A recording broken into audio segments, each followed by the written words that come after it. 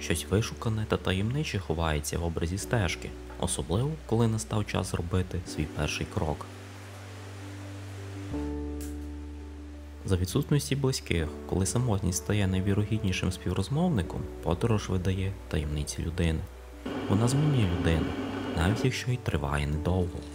Подорож відкриває світ у всій його величі, дарує захоплення та спонукає до глибокого внутрішнього діалогу із самим собою.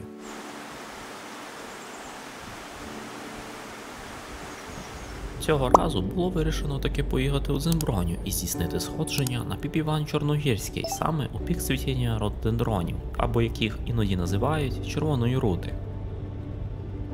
Оскільки ніхто не зголосився приєднатись до мандрівки, то було вирішено ночувати у селі Бестрець і наступного дня здійснити одноденне сходження. Дорога до Земброні після з'їзду з траси все ще далека від ідеалу, але проїзна для більшості видів авто, тому можете не хвилюватися за свій транспорт. Головне запастись терпінням та рухатись повільно останні 20 кілометрів.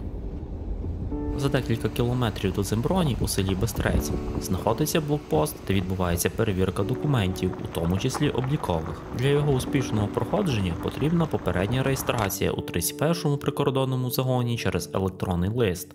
Детальніше про порядок реєстрації читайте в описі до відео. Загальна довжина маршруту в обидві сторони складає близько 20 кілометрів. Він маркований синіми мітками, що значно полегшує навігацію. Авто вирішив залишити на парковці біля самого початку маршруту на приватному подвір'ї. Вартість паркінгу 50 гривень за добу. Звідси і починається сходження.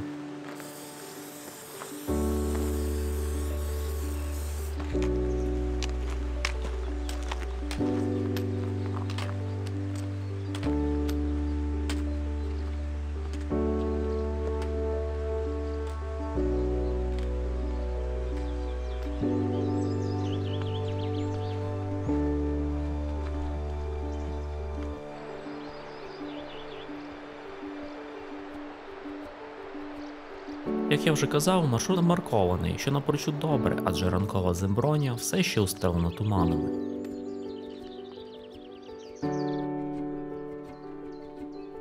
Неподалік від початку маршруту я натрапив на галявину, що позначена як туристичний притулок. Це доволі непогане місце для намету.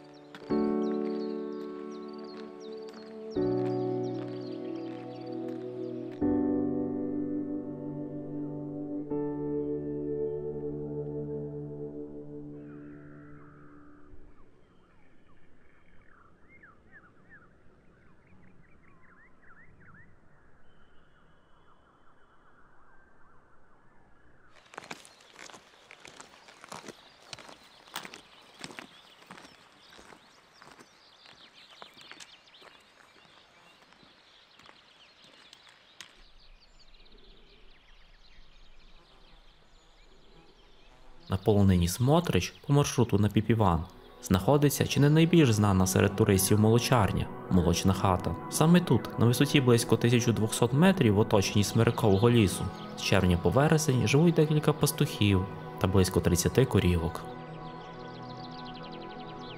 Робота пастухів важка. Сплять вони в середньому по 4-5 годин, а з отриманого молока за давньою традицією виготовляють молодий сир бутс.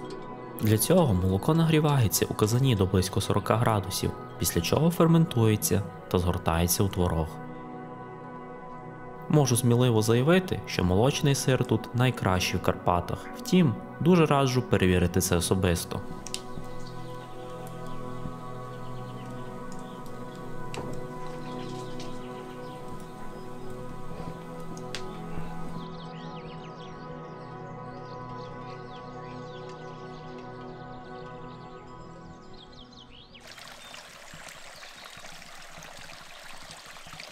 Поруч з хатинкою тече джерело, де я і поповнив запаси води.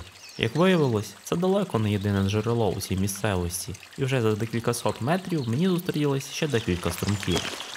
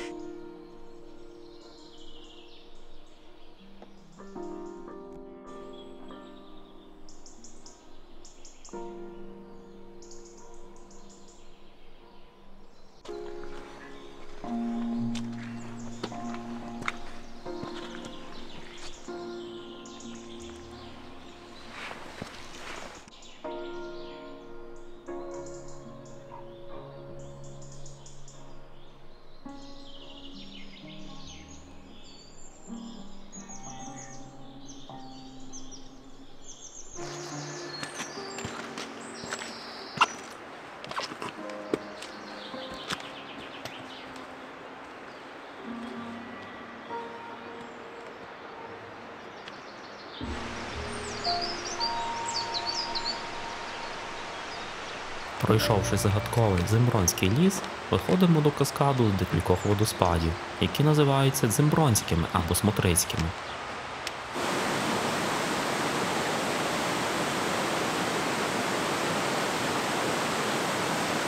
Вони беруть початок з гірського потічка Мунчел, який тече по південно-східній частині Чорногори. Висота найвищого каскаду складає 10 метрів, а люди, які тут живуть, називають це місце просто водоспад Смотрич.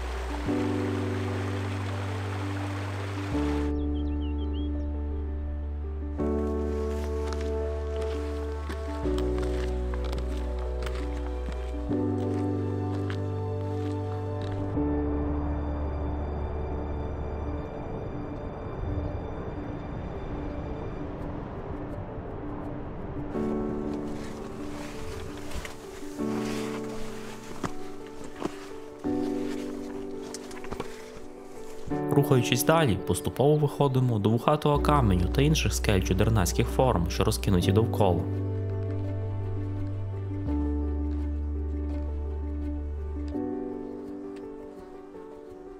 Вже звідси відкриваються чудові краєвиди на Чорногору, а ще раніше обабіч стежки розкинулись зарості жерепу, хвойної рослини та щільного низького чагарнику з короткими голками, який примудрився поцупити мій пав, що сушився на рюкзаку.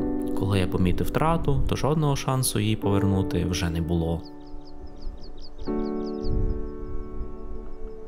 Перші рододендрони почали з'являтись перед самим виходом на хребет. Саме у червні схили Чорногори та Мармаросів вкриваються неймовірним пурпурово-рожевим килимом. Триває це дійство недовго, близько двох тижнів, але щороку приваблює тисячі мандрівників та туристів.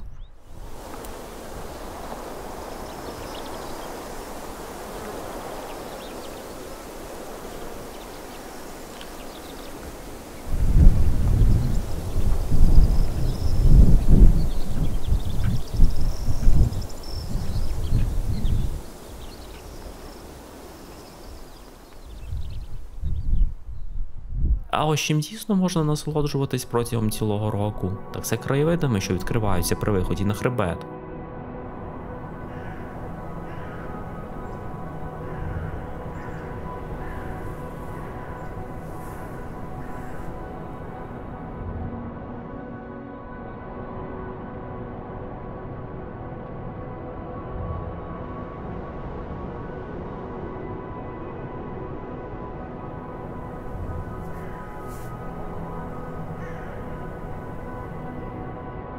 Вже звідси відніється піп Іван Чорногірський, поразим Земброні та Смотрич. Незважаючи на те, що на календарі був кінець червня, тут все ще збереглись пласти снігу, через який ми згодом будемо проходити.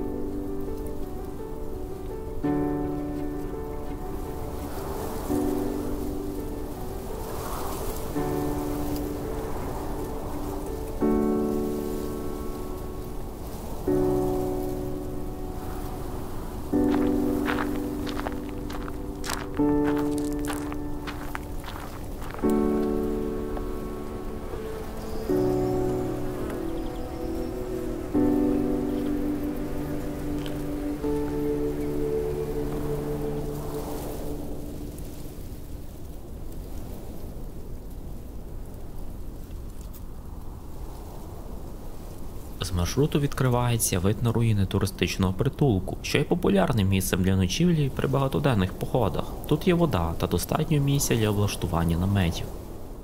Останні кроки завжди найважчі. Втомлені коліна дають про себе знати. Сильна спека забирає останні сили та залишки води, а в голові лунають тисячі думок, серед яких найпопулярніші. Коли вже фініш і для чого це все? Але вражаючі краєвиди притупляють в тому, а барвисті рожево-пурпурові кіломи рододендронів, обабіч стежинки, дарують справжній рододендроновий дзен. А ми тим часом долаємо останні метри підйому до нашої основної цілі.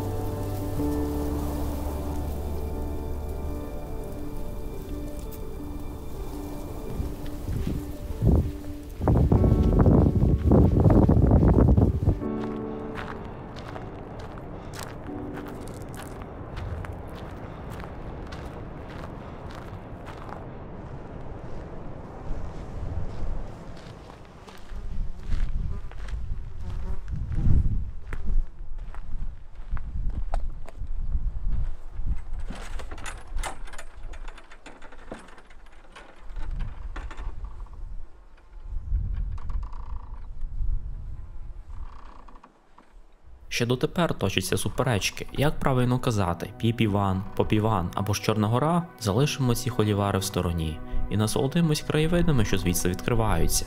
Їх потрібно побачити та відчути.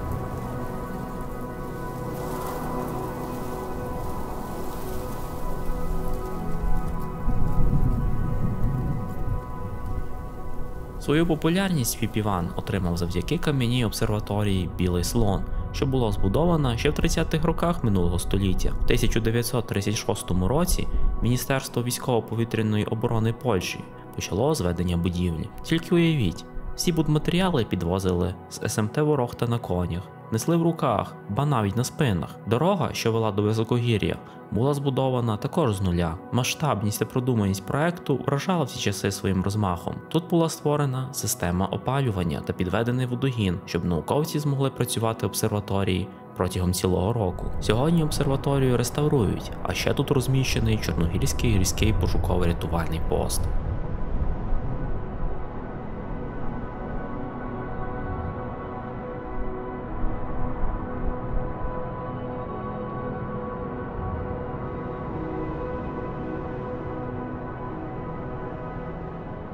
На вершині також знаходиться капличка та гойдалка, ще не найкращим карпатським видом.